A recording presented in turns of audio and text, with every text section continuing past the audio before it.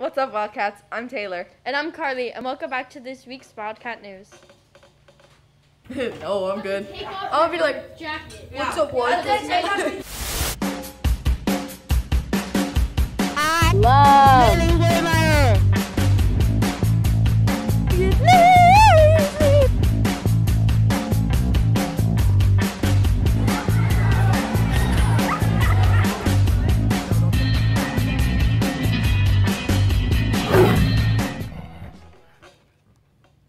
For today's lunch, we have fish nuggets with whole grain, French bread pizza, vegetarian beans with rice, chef salad, and everyone's favorite individual pizza.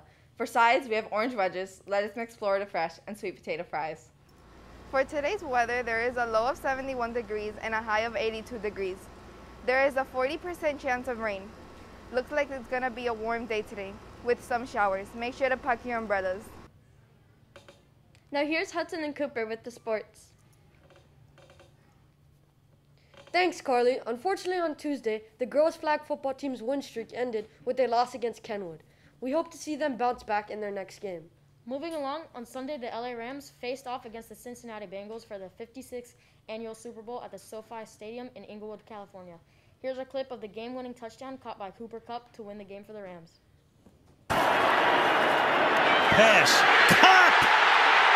Got it. Touchdown.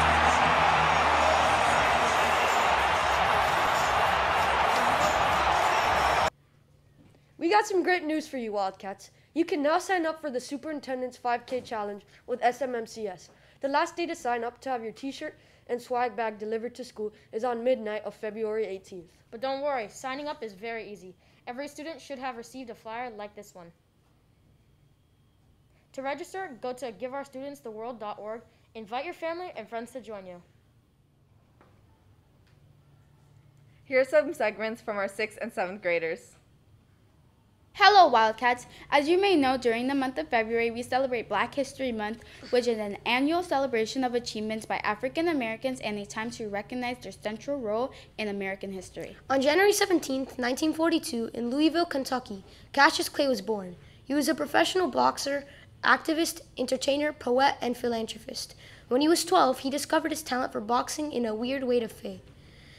His bike was stolen, and he told an officer that he wanted to beat up the thief. The officer said, Well, you better learn how to fight before you start challenging people, and soon took boxing lessons. At the age of 18, he won a gold medal in light heavyweight division at the 1960 Summer Olympics. In 1964, he knocked out Sonny Liston in a major upset to becoming the heavyweight champion of the world at only 22 years old. The same year, he gave up his birth name as he believed that it was a slave name and formally became known as Muhammad Ali.